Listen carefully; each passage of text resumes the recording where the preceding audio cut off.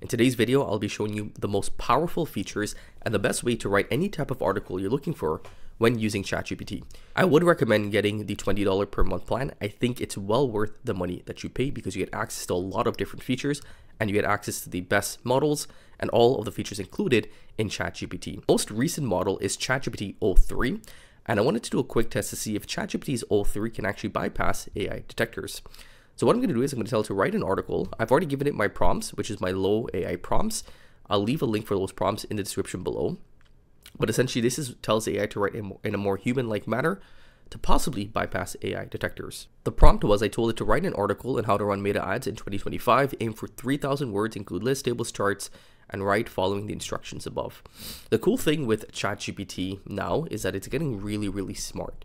You don't have to give it long prompts, and make sure that your prompt is amazing for it to give you good outputs. It's becoming so intelligent that you can give it very simple prompts and it's able to follow those instructions to a T.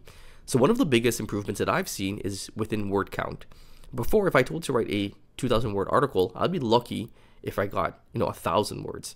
Now, when I tell it to write 3,000 words, I sometimes get even more than 3,000 words. So that is one of the biggest improvements that I've seen. And look at how quick this was right? It wrote that article very, very quickly. It included some nice checklists. It included some um, some HTML element. It included your FAQs. Let's actually go ahead and see how long this was, and we actually get some additional resources. So it's about 2,600 words, and I would say minus the table of contents, it's probably around like you know 2,400 words. Again, not bad for any means. One shot, it took us literally about what 15 seconds to write a 2000 word article. So it's much, much quicker to do so. And if we actually went ahead and, you know, this was a prompt to write in a specific way, but if you told us to write longer, I'm sure we can definitely get longer content.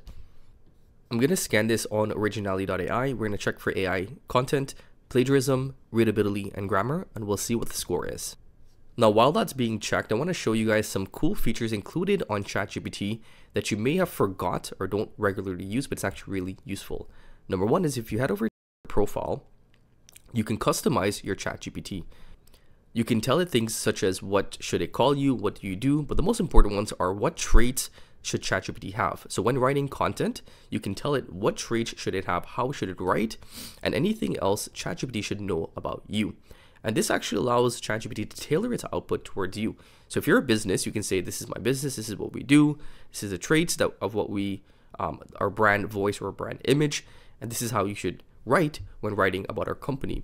And then that would enable ChatGPT to, to have all that information and to feed you more customizable outputs based upon your specific business or your specific niche. And it's very, very useful and it works really, really well.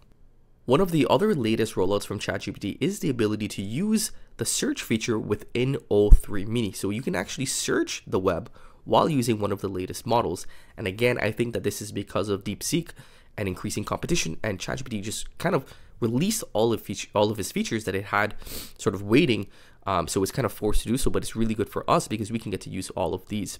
And I'll show you guys how I used this feature yesterday. So what I did was I told it to, I want you to find the best relevant mortgage news for the past two days in Toronto.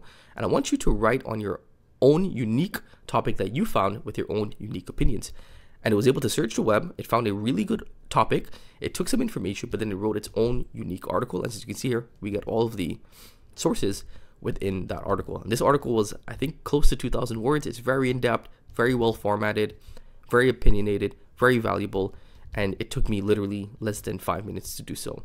And then what I did was I told it to then write a second article within that same interface, and it was able to write another article for me that's up to date, that's trendy, and that's fresh.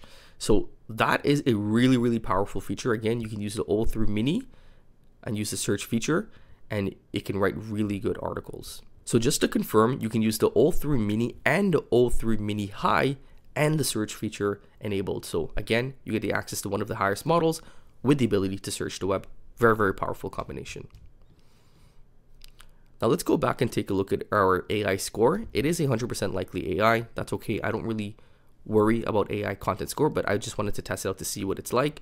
49 re readability score, which is pretty decent, 98% correct, and a 7% plagiarism checker. That's a little bit high for my likings. I'd probably want to reduce that. But overall, those are some of the newest and most powerful features from ChatGPT. I think for the $20 per month that you pay, you get a lot in return and you can do all of your content writing in one place.